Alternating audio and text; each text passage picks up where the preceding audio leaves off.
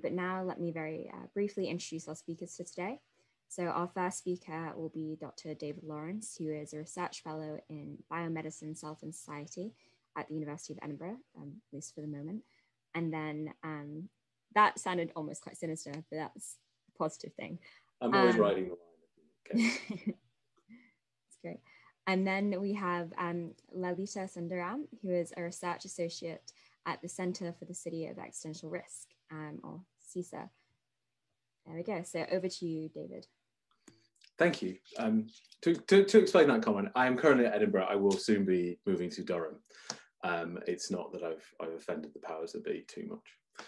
Um, so, well, we got the title, uh, you know, bioethics outside the box, and and you know, we we had a few conversations about maybe what would be interesting to talk about, what people might want to hear.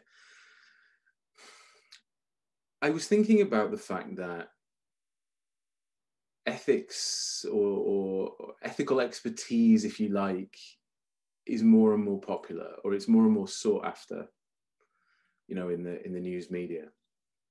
And I thought, well, how does that reflect on, or how does that um, come into the world of being a scientist or being a you know a scientist in training if you like um, i know not everyone in the in the room perhaps fits that description and, and maybe what i'm going to say is, is broadly aimed at those who it would fit but i um i think it's probably something that is worth always bearing in mind whatever side of the aisle you fall on whether you are you know a, a so-called ethical expert like i like to pretend i am or you know, a, a, practicing scientist or an aspiring scientist or whatever it is that you do. And I think that when you're trying to think about doing your active research in the sciences or commenting on that active research, there's, there's two things to consider from an ethics standpoint. You know, there's the ethical practice of your research, but there's also the wider societal context of that research. And here's your outside the box part doing your work within the uh, doing the ethical practice of your research is kind of inside the box bioethics in a way and the wider context perhaps is the outside the box you know what it will produce what implications what other effects that might have and i, I won't really talk about the the, um, the, the the actual practice of research you know the first one of those if you're here you're probably very, very well aware of the need to conduct your work ethically and there will, of course, be all the many ethics approval processes that you have to navigate um, along the road to even getting something in the lab. And that's all great. That's all really important. And learning how to navigate that is very important. And it's a kind of constant process throughout your careers. But you're thinking, you know, you're thinking about the piece of research, you're thinking about the processes you're using, you're thinking about the treatment of your research participants, wherever it is. And that's that's sort of it. More interesting, I think, is in many ways is the second one, that wider context. And to talk about that, I, I want to tell you a little bit or give you a few thoughts that I have on how to think through making ethical judgments about science in that broad context. And then I want to talk about a, a sort of real world example that for me really sort of drew that out into uh, sharp relief, that societal aspect. So when I was saying before, that there's more and more and more demand for public debate over whether something's ethical. You know, we have this insane news cycle now.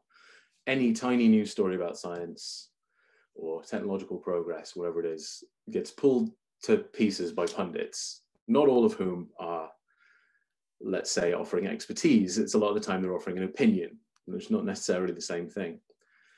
So for something to be ethical expertise, it, it, must have um, at least the ability or someone for someone to offer that expertise let's say they might need the ability to create um, and analyze and present all the evidence and the arguments that you might need to defend or um, you know, weaken a proposition of ethical significance proposition of ethical significance being so where you would see a claim that um, you know some conduct some proposal some policy is is right or wrong good or bad wicked, virtuous, anything else. You know, claims that something can cause benefit or harms to, uh, to persons or to their rights or their interests. The kind of ethical statement that you see in a newspaper headline calling a new technology, you know, unnatural or wrong. Um, things that could just be, you know, knee-jerk reactions, opinions that aren't necessarily fully considered. Um, they don't necessarily account for all the facts, and it's really, really easy to be swayed by that. It's also really, really easy to be swayed by that when you're in the business of thinking about ethics, when you're in the business of thinking about the implications of your own scientific work, your own scientific practice you can let them color your own judgment quite easily, I think. And, and but that is very dangerous when you're thinking about the effects your own work might have. Um, you know, when we claim some of us to be ethical experts or be offering ethical expertise, and you're contributing to say public policy, you, you have to do it in a way that doesn't violate a principle of ethical neutrality. So something I said would have to be accessible to reason. It would have to be, you know, non-partisan. It can't just appeal to someone who's already on side. So I am very kind of open to the use of various biotechnologies. Um, there's there's no point me just sort of preaching to the choir. At the same time, there's not a great deal of value to someone offering a judgment that is, um, you know, just designed to please those who are, let's say, highly bioconservative, those whose uh, views on a, on a matter are, you know, really heavily informed by, let's say, religious belief or cultural practice or whatever. If all you're doing is kind of feeding those viewpoints, that's not really contributing in a way that helps anybody. This is not to say that any of these viewpoints are completely invalid. It's just to say that you're not doing anything. You're not moving the conversation on. You're not, you know, hugely contributing. And I am extremely guilty of playing to the crowd a lot of the time. We all are. But what you need to be looking for is for your ethical judgments to be able to appeal in principle, if not, you know, in practice, to everyone in a society, you know, regardless of all those cultural beliefs, whatever, um, personal preferences. It needs to be something that can be supported by a combination of evidence and argument. Um, and if it can't, then it doesn't have a real role to play in a moral conversation or a conversation around you know the governance of technology. And they also fundamentally these ethical judgments need to be honest. They need to be honest they need to be open. There's a moral duty. If you're offering these judgments or if you are making these judgments about your own science or the science of others there is a moral duty for you to be honest and open about it. And you know, if you're in the sciences or if you work closely with the sciences, luckily you're going to be steeped in you know the scientific method. Making a mistake is fine. Mistakes are how progress are made. Um, if you acknowledge those mistakes and you adjust for them. All kinds of judgments that we might make, you know, moral judgments or scientific judgments, anything, they can be revised in the face of new evidence um, or in new ways of interpreting old evidence. Um, there's quite a good story about the philosopher Ludwig Wittgenstein, who uh, he asked a student something like, "Why did people think that the sun went around the Earth rather than the Earth was rotating?" And this student came back and said, "Well, I suppose it looked as though the sun was moving around the Earth, which probably it did." And Wittgenstein says back, "Well, yes, but what would it have looked like if it had looked as though the Earth was rotating?"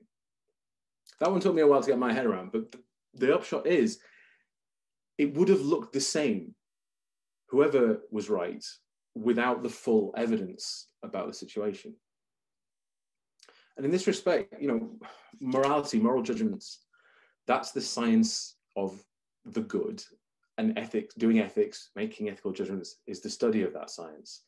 Your morality can be a science in the way that, or bioethics can be a science in the way that, you know, biology is a science. Even history can be a science in that way. It can be conducted well, it can be conducted badly. You can use, you know, established methodologies, you can form hypotheses, you can collect and use appropriate evidence.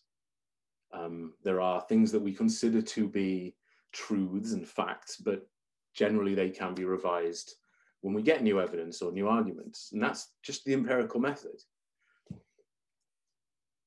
And this sort of brings me to the case of Charlie Gard, some of you might remember this case from sort of 2016, 2017. Charlie was a, a baby who couldn't, he couldn't see, couldn't hear, couldn't move, couldn't make a sound. Really sad story, but I, I think it's a really important one for people to be aware of because of what it illustrates um, with regard to what I've been saying. When he was about one month old, he stopped being able to move. Um, he deteriorated, deteriorated really quickly. He had um, extremely rare heritable condition called, um, and I've written this down because I can't remember the words, infantile onset encephalomyopathic mitochondrial DNA depletion syndrome, mangled that. Um, the consensus of kind of medical opinion and legal opinion is always has been that that condition is incurable and irreversible, and that by the time Charlie was seen by any doctors, he had severe brain damage, you know, at the age of a month old and it's it's a heart it's a heart-rending story. It's incredibly tragic. And if, like me, for example, you you are in support of the autonomy of the individual, then you would have sympathy with the desire, at least, of Charlie's parents, um, who wanted to take him to the states for an experimental therapy or trial of an experimental th- experimental therapy, because they were convinced that would help him. So they had been told that that would help him. Um, within English law, if nowhere else, the presumption is always that the parents will act in the best interests of the child. And only when that seems to not be the case anymore, um, do the courts sort of get involved. They, they have this duty to intervene and to decide for themselves what is objectively in the child's best interests, so far as you can ever know that. Um, in this case, the courts faced this you know, impasse between what the medical team at Great Ormond Street, who were treating Charlie, thought was in Charlie's best interests, and the different approach of his parents, the understandable approach of his parents. The courts had to then, you know, adjudicate the highly opposed ideas about what the good was for Charlie Gard. And this went through, over the course of a year, this went through three, I think, different independent courts um, you know, considering all the evidence, all of whom basically came with the same judgment. Ultimately, this went to the Supreme Court, um, where it was decided that the Great Ormond Street team were correct and that Charlie should not be subjected to further treatment. He should be allowed, in his own best interests, to die with dignity, the terminology that they used. Um, the basis of those decisions was that Charlie had irre irreversible brain damage. There was no evidence that any treatments existed that could do anything to reverse that brain damage, and that to subject him to further treatments was just going to cause him uncertain but probable distress was the phrase. Um, you know, more suffering, more pain, to no purpose. There was no possibility of ameliorating his condition. And doing that was not in his best interest, they said. So they agreed with Great Ormond Street that it was um, time to withdraw treatment. And the case really, really hit the media around about, I think, the second court, uh, the second court appearance. You got Pope Francis weighing in, you got Donald Trump weighing in, and they were both making quite misleading interventions. You know, their high profile adds a sort of legitimacy to what they were saying, at least to some people. Um, to the ethical propositions that they were making, these opinions they were offering. Um, Pope Francis, for example, made a claim that on the surface of it seems quite reasonable. He says that life support should be provided until Charlie should happen to die of natural causes. But once you think about that a little bit, it doesn't hang together. It's problematic because whilst he's on life support, he can't die naturally, or it's very difficult for him to die naturally plus the fact that life support of its very nature is unnatural. If you waited for that to happen, you would never have a, a resolution. And obviously, Pope Francis was talking with the you know the very best of intentions, but that gets in the way of some of the realities. Bringing this back to the scientists, there was also a letter to Great Ormond Street from a number of doctors. Uh, in this particular case, mostly they were affiliated with the, um, the, the Vatican's Children's Hospital. There was also some American doctors um, signed this letter. And this letter promised to present new information, new evidence, new scientific techniques that the court hadn't considered. Um, and because these are these are active scientists, they're at respectable institutions. They are doing good work. They are not. These were not charlatans. These are well published, well respected scientists. Um, that makes this letter sound, you know, legitimate. Makes it sound like there is something there. And when that is presented through this this ongoing, this loud media conversation that we have about the ethics of science now, that gives a certain image to the public. But if you read the court transcripts, which of course you know nobody does, there's only one of the seven pieces of research that was presented in this letter was even from was was even new. It was from that year, but it was from earlier that year, and all of that research had been had been presented to the courts and had been considered by the courts. Um, this is not what the public narrative would have you believe. There was further stuff in the letter that was just unpublished work that was never been corroborated. Um, material that was about mice and about a slightly different problem in mice. Pro- the solution, whether that whether that the solution it offered would have translated to humans, was really neither here nor there because it wasn't for the illness that Charlie had. And even in the mice, there was no evidence that it reversed brain damage. So again, you needed to read all the court transcripts to kind of be aware of this. Even the, the, the original doctor who promised the treatment to the parents in the very first place admitted that he had never seen Charlie's scans. He'd never seen, you know, the full kind of medical report on Charlie. And when he did, he said, no, treatment would be futile. So the vast majority of interventions, like this letter from the scientists, the pledges of support from, you know, the Pope, the President of the USA, and you know the crowds of people who demonstrated outside Great Ormond Street and other hospitals in London, it was it was done with positive intent and honest intent. They thought they were doing or, or advocating for the right thing, you know, the right thing for society, the right thing for Charlie. But actually, what they were doing was harmful to the ethical debate and it was harmful to the picture of the science. It was getting in the way of the truth in the, in the eyes of the public, I think. And more to the point, when you have to imagine the torture that Charlie's parents are going through, when, you know, their actions at some points in the case seemed extreme, but you have to remember that they were being offered hope by scientists, these scientists from all over the world, top scientists, respected scientists, who were promoting techniques and treatments that surely they, you know, they were rightly proud of having developed. Um, as you know, technical achievements, but it's also the case that those techniques were not relevant and some of those scientists were spurred on to offer this false hope because the kind of public ethical debate over this case was so murky, so muddy. The real facts were not clear. If parents are clutching at straws, and because of these false hopes, offered because the scientists were not taking the time to find all the evidence, you know, their suff- the parents' suffering was drawn out over a whole year, and you know that's to say nothing of Charlie and whatever extra suffering he might have been subject to. So this is all a very long way of saying. I'm coming to the coming to the end now. Very long way of saying that there's a really broad context. There's a broad world in which your work as a scientist might live. You know, you don't always know how what you're doing will be taken. You don't know what the view of the public will be, and even if that view of the public is relevant or if it even matters you can't know specifically who you're going to affect. None of those scientists intentionally caused harm here. They were promoting research that they thought was relevant, they thought was appropriate, but they did not have possession of the full facts of Charlie's condition.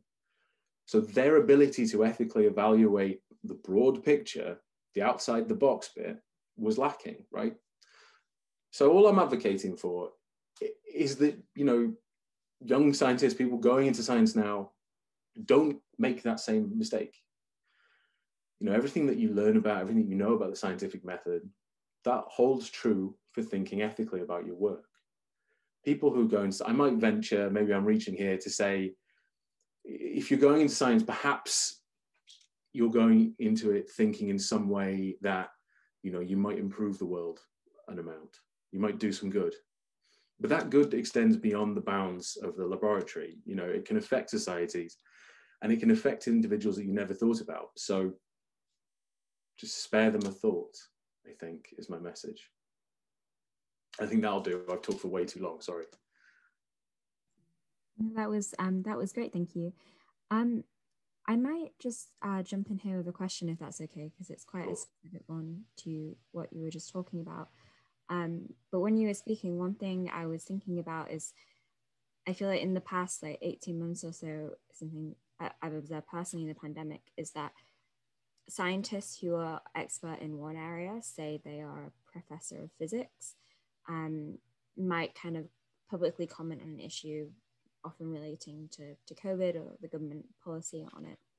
Um, and then their expertise in that other area, say their professorship in physics, is then kind of used publicly to almost like legitimize. I'm not sure that's quite the right word, but kind of grant authority to their comments in other areas. And I wonder if you had any kind of thoughts on that, because I can see that relating to some of what um, you were just speaking about. Absolutely. No, absolutely, it does, and it's something that's been endemic within COVID. And I have mixed feelings about it because I'm I'm not wanting to suggest to say you know people should stay in their lane or anything like that because there's there is more than enough evidence to say that actually the insights from other fields, other area of expert, areas of expertise have, you know, historically given us so much more or gotten around, you know, blockages in one discipline eh, over and over. People should be able to offer their view. The problem is when those views they can't they're not when they're not fact checked, when they're not, you know, compared against the views of someone who is an expert in epidemiology or whatever it is, wherever it might be that someone's pronouncing upon. Experts make mistakes all the times and make mistakes about their fields. Maybe everything I've said here is wrong, but you know, if I was making a pronouncement on something about global health, I would prefer that there was a global health person there to check what I'm saying, to make sure that I'm not making a pronouncement that is going to, you know, cause some harm. And I realize that the media landscape doesn't allow for that. I've done plenty, you know, I've done my share of media, and you get at best 30 seconds to make your point. Um, and then that is then further distilled into a soundbite. So some of these, or many of these scientists who appear to be making pronouncements on things, probably are giving a very qualified opinion or very qualified, you know, viewpoint. But all of the qualification gets taken out. I think it's less the people making pronouncements in some cases that's the problem, and more the way in which we are consuming it or in which it is presented to us this was a big problem, particularly at the start of the pandemic. Um, you know, there was a, and I'm, you know, not to bash my own discipline, but I was unimpressed because there were so many people coming out and making, you know, giving really hot takes that were lukewarm at best.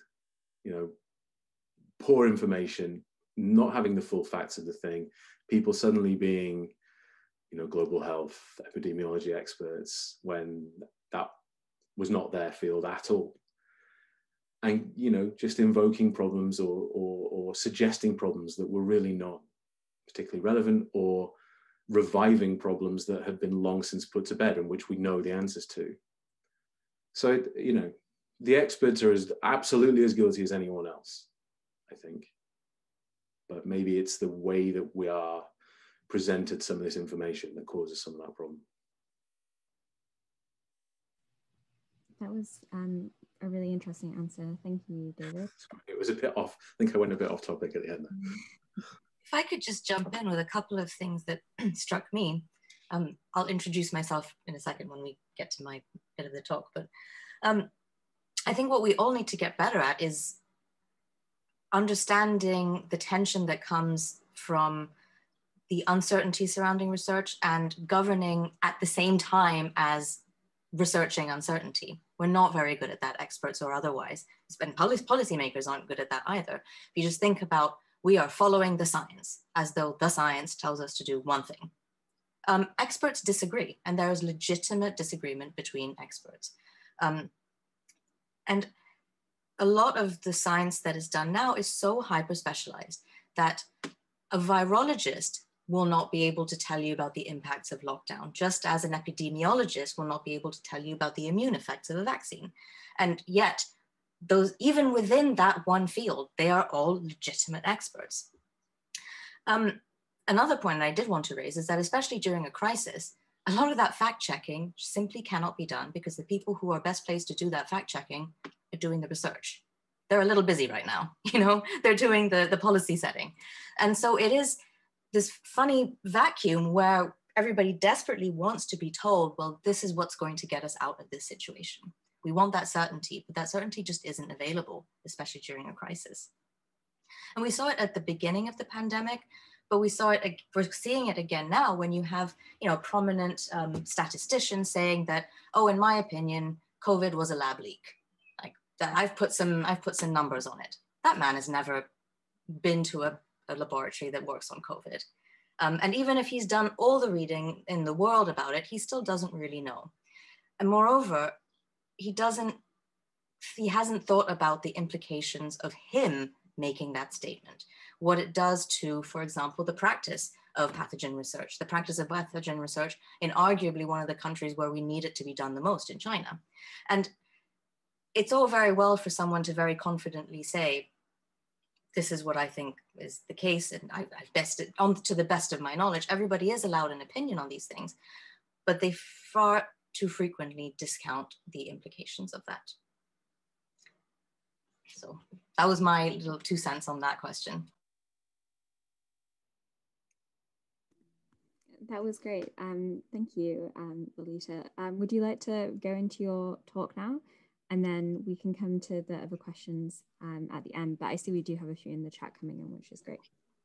I'm sure. I mean, I guess I'll, I may as well do my talk quickly. I think it's, I think it won't be that long.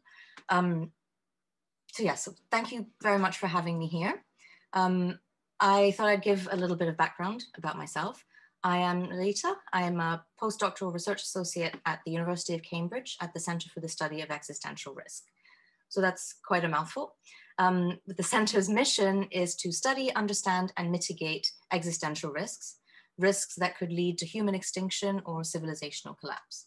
Sometimes they're also called catastrophic risks, or specifically for the subset that I study, global biological catastrophic risks. So the fact that we're doing this over Zoom rather than in person kind of speaks for itself in terms of what a global catastrophic biological risk might be and what its impacts might be. But actually less than pandemics, what I research more is in the realm of engineering biology and biosecurity, um, the ways in which the physical practice of biology might play out over the next 5, 10, 15, 50 years. Um, and I think I have understand correctly that a lot of you who are on this call are practicing biologists or hope to be once you're done with your degree. So I hope this will be relevant to you, even if you're not doctors. You know, my talk is very much geared to someone in the lab, not necessarily with any sort of medical training or medical aspirations. And when I make this kind of introduction, especially to an audience that is partially or entirely made up of biologists, I'm always keen to say right up top, I'm a scientist. I'm a scientist myself. My PhD was in pretty traditional lab-based parasitology. And I was in the lab as recently as last summer when I was um, volunteering for the national COVID response, doing more PCRs than I have ever done in the rest of my life. Um, after my PhD, though, is when I started to become interested in the subject of this discussion that we're going to have. I started to get involved in synthetic biology quite directly, in particular on a project that was aiming to develop a biosensor that would detect arsenic in well water. So essentially we were trying to genetically engineer a bacterium to produce different colored outputs based on the concentration of arsenic in a given water sample. And we were developing it for use in Nepal and Bangladesh, where the issue of arsenic in drinking water is a huge, huge health problem. And what we realized during this project was there are several dimensions to doing biology or biotechnology or synthetic biology, to doing them well that go far beyond the successful experiment in the lab. So we were trying to prototype a GM product in the lab, but we were doing so with the objective of it being used in communities outside the lab. And that's the same for a lot of synthetic biology or biotechnology, whether it's about creating biosensors like what I was doing, or industrial biotechnology, um, new pharma. We need to think about issues like how is this thing going to behave as an object out in the world, an object that is used by people within social, environmental, cultural ways of being. So essentially what that experience taught me was to think about biology and the products of biology as socio-technical objects.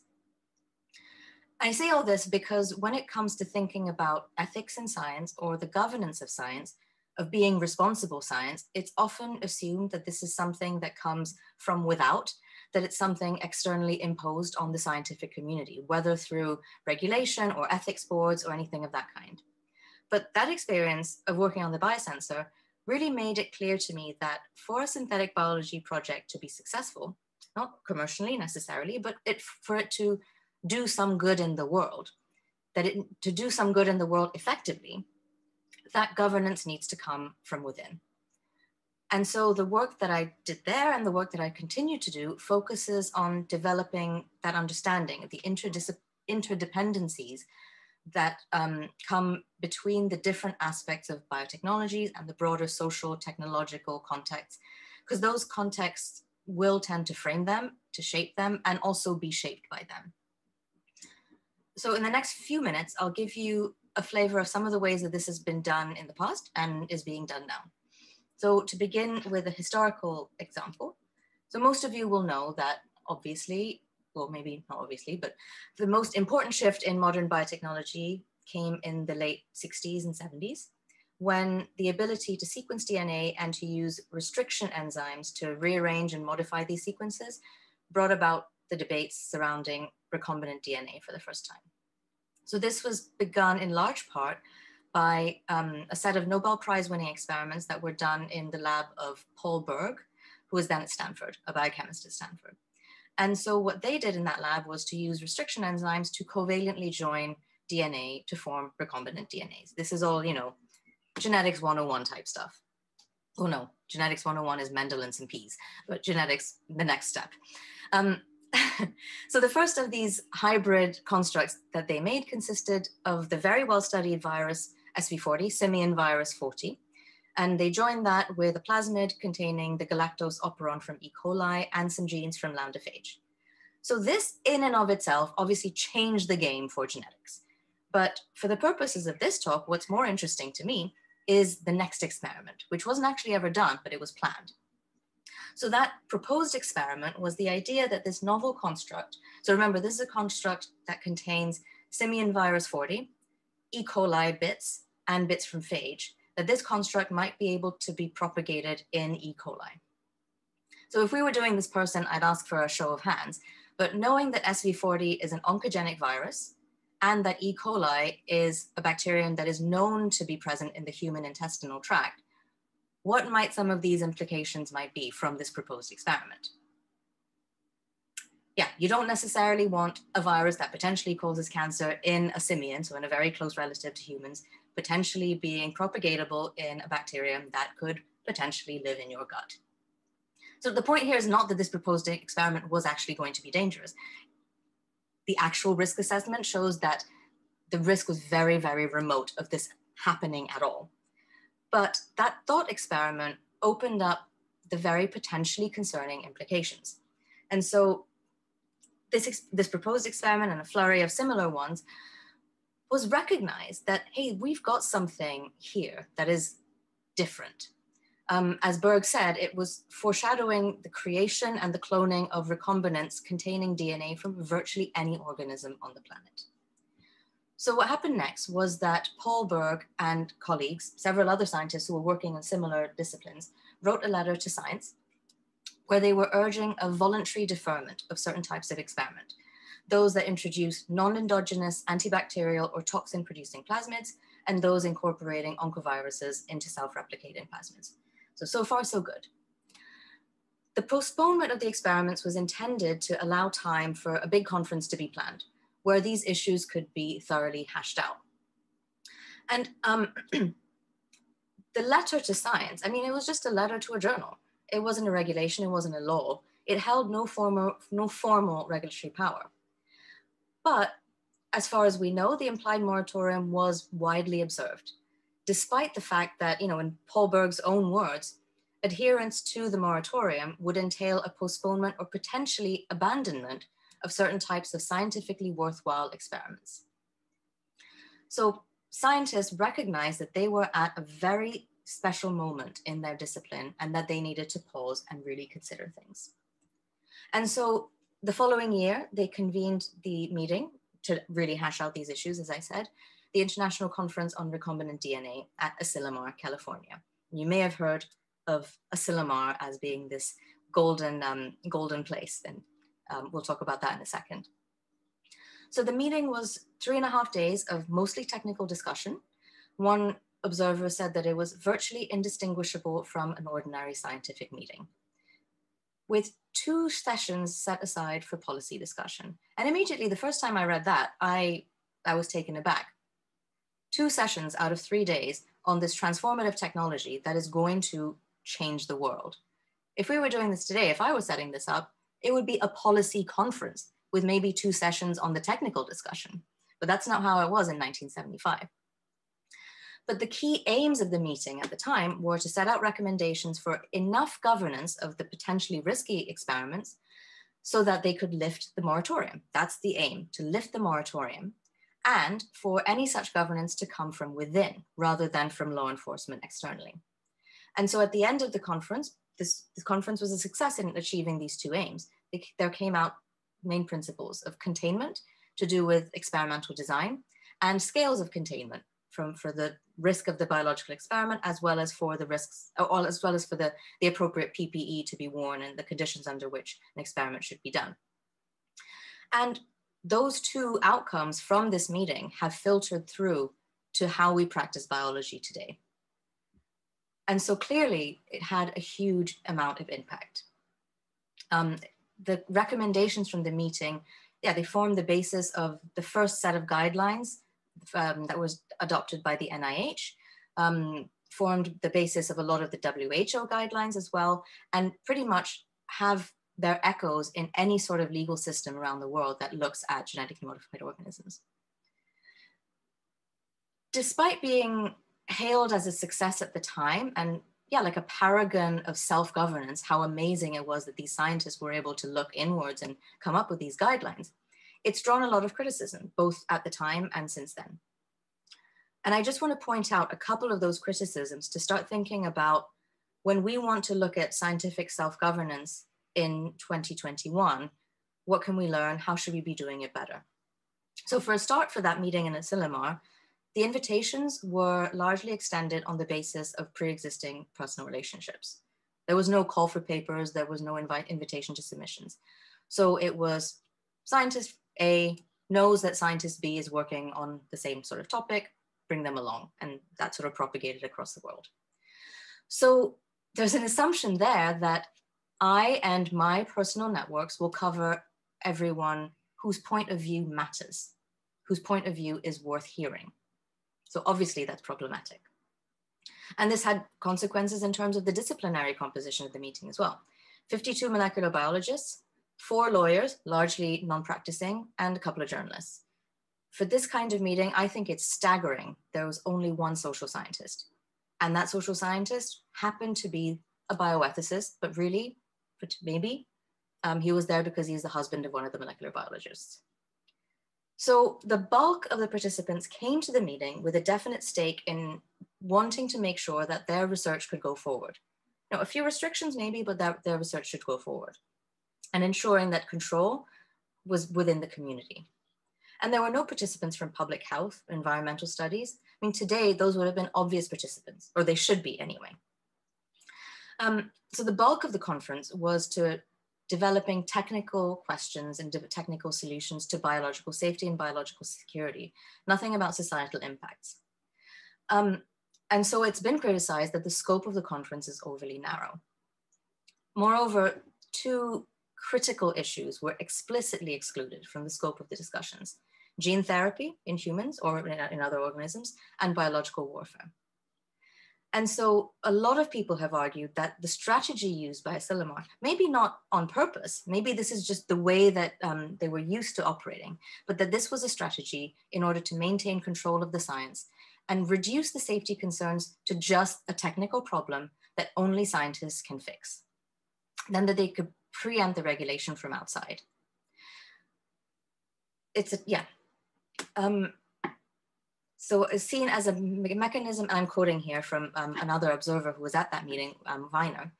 Um, the recombinant DNA issue was defined as a technical problem to be solved by technical means, a technical fix.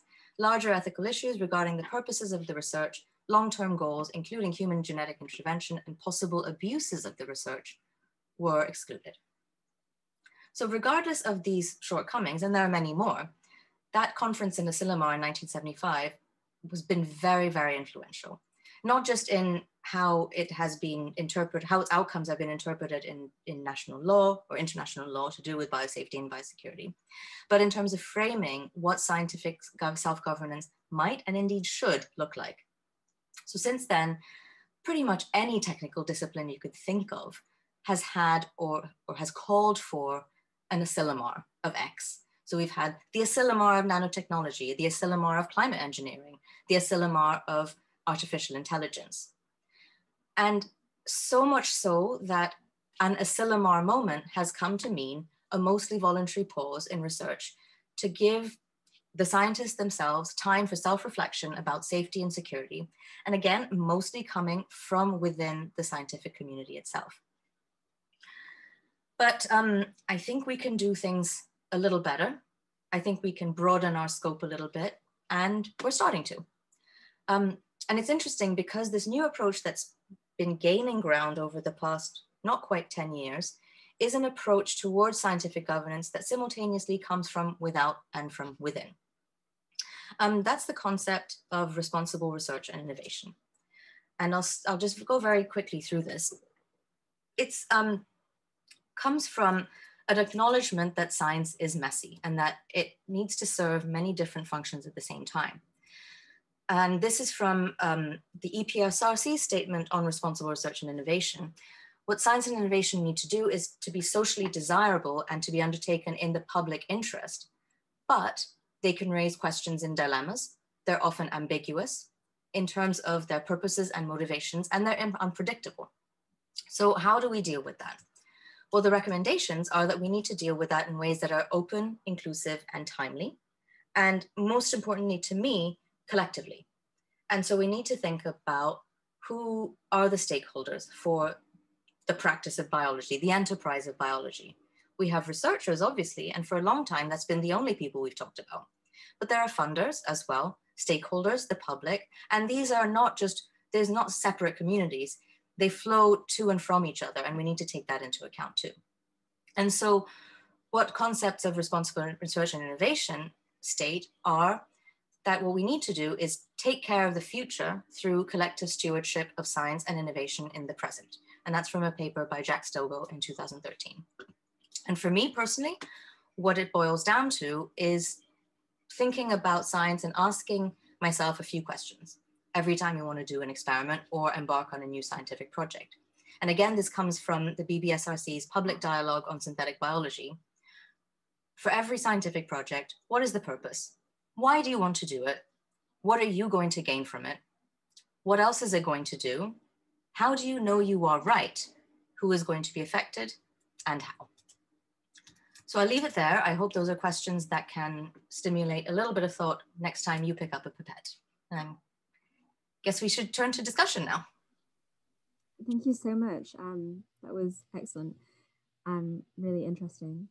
We do have uh, one question in the chat already. Um, and so Ted Rees has asked, um, as scientists or aspiring scientists, are we better off sitting on the fence and explaining the pros and cons and the need to read all the evidence, or should we express um, our learned opinions? It's quite a tricky question. I, have a, I have I have a thought. It's a it's a short answer, I think. And my assumption is that the question, and maybe you could clarify, uh, Ted, if I'm incorrect, but I'm assuming the question is is thinking about you know maybe speaking in the media or things like that. Um, and in the in that particular context, you know, you're there to to stop everyone else having to do all the reading and do all the evidence. That's that's you know that's the purpose that they get you on for. So you know you're there for your learned opinion, um, and there's no you know there's no reason that you shouldn't offer your learned opinion because your learned opinion you are an expert in what you're an expert in. We want to talk to you because of your learned opinion. But I do think that when offering those learned opinions, they should be as qualified as possible. Um, you know, as in what you're stating, you know, perhaps ought to be offered with some backup or, you know, look, this is where this comes from. This isn't just me completely spouting. Now, as I said before, the um, vagaries of the format sometimes prevent that. But I don't think there's anything wrong with offering your learned opinion. I think it just needs to be in the right place. And actually, maybe this ties a little bit to what uh, Lito spoke on, which is that about you know the fact that they were only getting people in the room who were within their kind of personal networks. And that happens with um, science punditry in the media or, or academic punditry more broadly in the media. You only get called by the bbc if you're in their little black book. You're only in the little black book if well certainly in my case someone i knew who was much more famous and you know more senior and more powerful couldn't be bothered to do an appearance one time. They said, "Why don't you phone? Why don't you phone him?"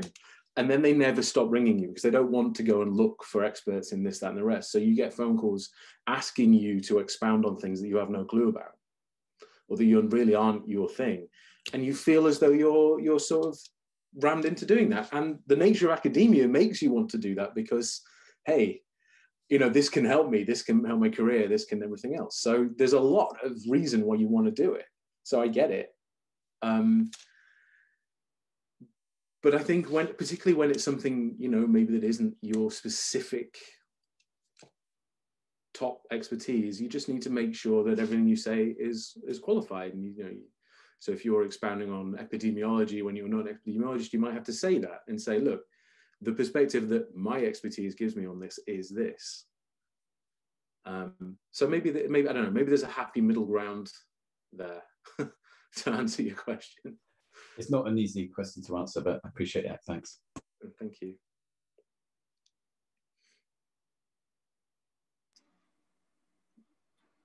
Yes, someone's commented it's about putting forward the, the context as well as the information. Yeah, I mean that's a, that would be a, a much more eloquent way of saying what I just rambled about.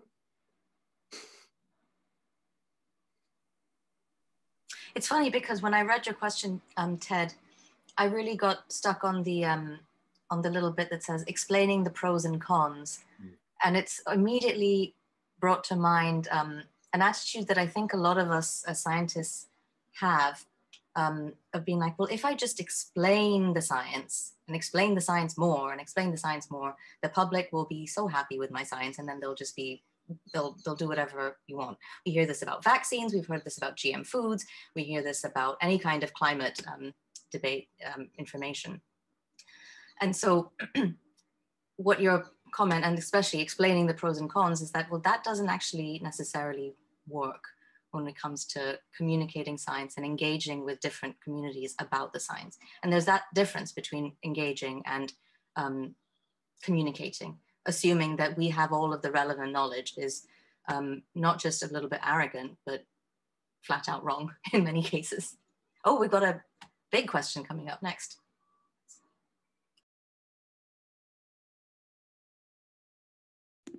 We do. Um, I might, uh, if you'd like, um, Sharmila to to come onto the audio and talk about what you put in the chat, like you're very welcome to. Yes, please. That would be great. If Sharmila, you could. Hi, can you hear me? Good. so thanks, thanks so much for that. Um, I have been working here in Brazil as a what we call implementation science consultant for the Ministry of Health to support, um, well, at least in part, what would look like a good, good public participation, actually social participation, not just public, but patient, all stakeholders' participation in decision making when it comes to uh, incorporating health technologies into our sort of NHS inspired universal healthcare coverage system. Um, and we have been dealing with something that's very difficult because not only we have the partisan politics polarization over every single detail that all of the countries are going through. I mean, not all of the countries, but a lot of the countries have been going through.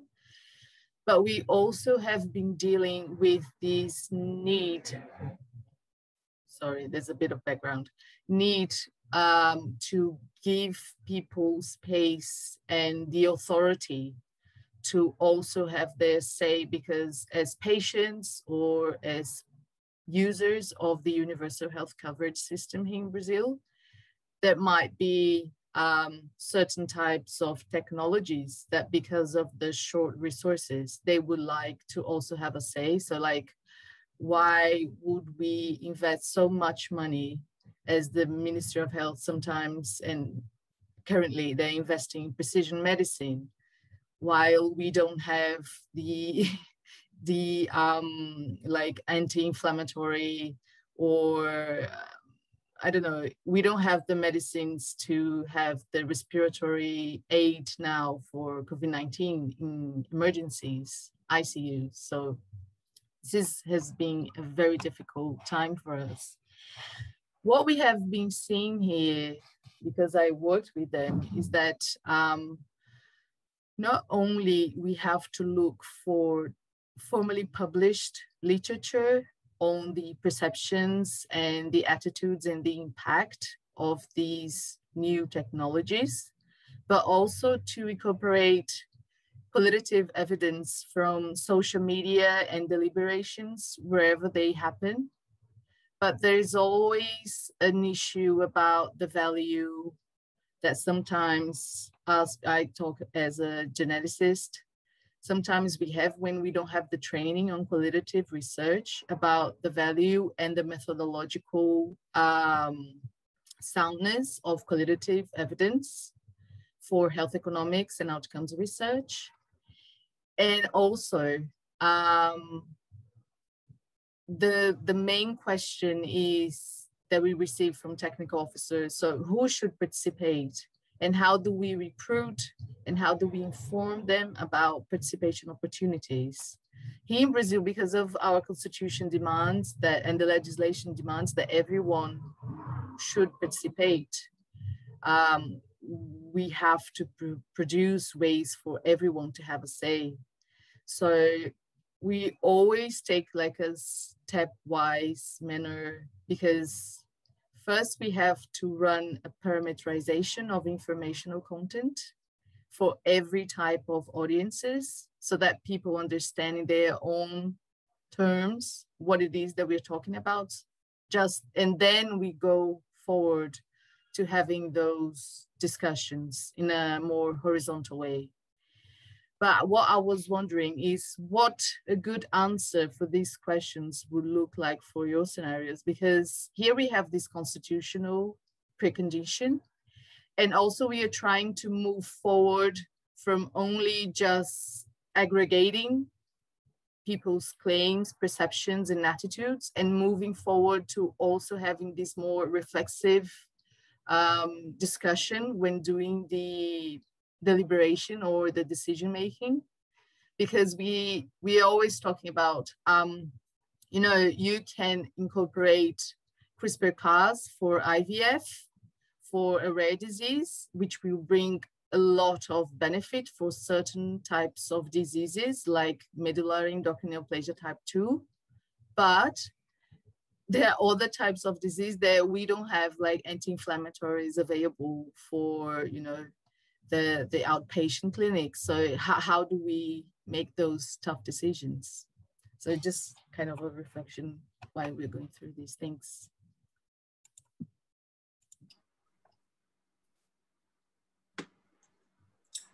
Well, um, taking a leaf from uh, David's suggestion, I'm going to say straight off the bat that this is not my, I mean, that that set of questions sounds extremely difficult and is not my expertise um, because I think it has much more to do with public health resource allocation than um, the types of work that I'm involved in, which is about societal impacts, but not on individual patients or individual patient populations.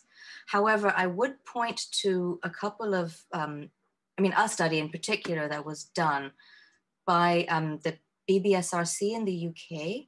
So that's the Biotechnology and Biological Sciences Research Council. Um, I don't know what exactly their methods were, but they did, I think, something very similar to what you're describing, Sharmila, but not in the medical context. But it was um, a public deliberation, a public dialogue, they called it, about synthetic biology um, in going from the abstract to the specific. So again, it was not medical, it wasn't talking about patients, but it was still, I think, a means of structuring a fruitful public discussion from um, really quite, really some science that people are very unlikely to understand at its, um, at its fundamental level and really bringing in some, I think, quite good levels of engagement. So that's, a, it's called the BBSRC uh, synthetic biology dialogue. The science is going to be very out of date because it was in 2010, but the methodology might be interesting for you to be able to look at. I mean, otherwise, I really honestly, I don't know how people like NICE in the UK make these kinds of evaluations, but that might also be useful to look at. I'm sorry, I can't give you a better answer on that. I can't say that I have a huge amount to add other than that, you know, I, it sounds like essentially an impossible situation that you're having to try and drive a path through. I mean, the ideal would be to be able to have these sort of public conversations, maybe about a technology, an issue. So, when I was talking about Charlie Gard, maybe we should have a national conversation about withdrawal of treatment. But I think that those conversations have to be completely uh, divorced from a specific case because I mean, what happened in in the the Charlie Gard case was you had this cute kid, and the parents were putting out pictures of a cute kid. Uh, in some cases, those photographs were somewhat manipulated so that he looked perhaps more well than he was. And then you can't have that public conversation properly because it devolved into a screaming match and death threats to people offering, you know, to, to nurses and doctors at Great Ormond Street. Um, so I don't know how you would do it. It's certainly not within my expertise, but it feels like it's the, what the approach you're trying to take or the approach you've discussed seem to be the desirable ones to be able to have these wide stepwise conversations. It's just um, how do you find the room? How do you find the national will, the political will to have those conversations when there isn't a pressing or an obvious kind of pressing need for them? And that's true i think you know in all sorts of fields of science. Um, you know we probably ought to have national conversation about um, certain types of genetic research embryonic research. But we we we uh, they only get attention when there's a crisis. And that's the time you can't have a wide public conversation about them. So you've got an extremely difficult job to do So we have um, come up to one o'clock now. Um, so I think we should uh, wrap up. But I just wanted to say um, a big thank you both to our attendees for joining. Um, I hope you found it interesting and an interesting pre-lunch or lunch break um, watch. And also a massive thank you as well to um, both our speakers. Um, it was such an interesting set of talks and discussion. And thank you for participating. Thank you for having me. Thanks, it was a pleasure. I did want to say that for anybody who wants to chat more about this or related topics, just get in touch with uh, the Student Young Pugwash organizers and feel free to have them email me and we can have a chat. So, yeah, absolutely. Same way. That's Great. brilliant. It's a really uh, generous offer. Um, yeah, so thank you everyone and enjoy the rest of your uh, your days.